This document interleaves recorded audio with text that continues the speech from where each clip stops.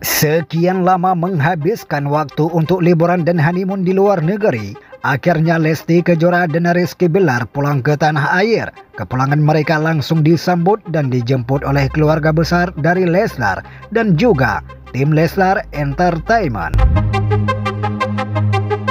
Bukan hanya itu saja, kepulangan Lesti Kejora dan Rizky Bilar ke Indonesia juga disambut langsung oleh pimpinan besar pertelevisian Indosiar. Siapa lagi kalau bukan Harsiwi Ahmad atau wanita yang lebih dikenal dengan panggilan Bu Siwi.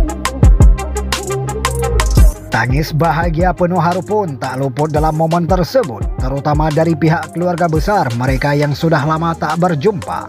Mereka juga cukup khawatir dengan Leslar selama ini saat liburan ke luar negeri.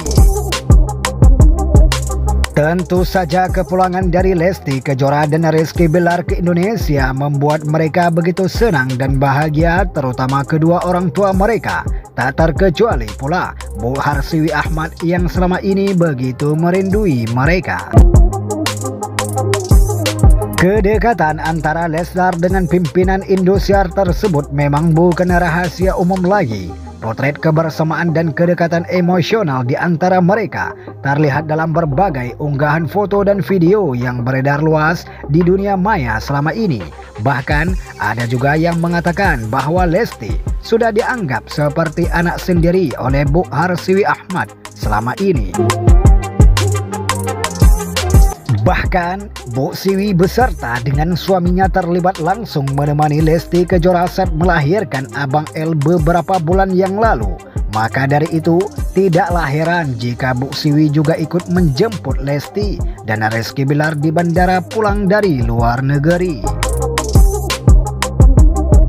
Adapun negara yang sempat dikunjungi oleh Lesti Kejora dan Rizky Bilar selama liburan di luar negeri antara lain Paris, Swiss, dan Switzerland.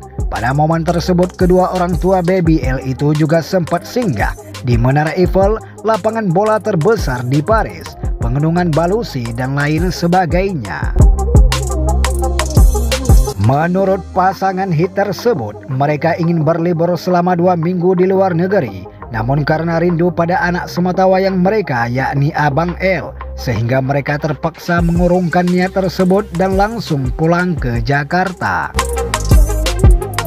Apalagi Lesti, hampir tiap malam menangis saat video call dengan keluarganya. Ia selalu menyebutkan bahwa dirinya begitu rindu dan ingin bertemu, memeluk dan mencium Abang L.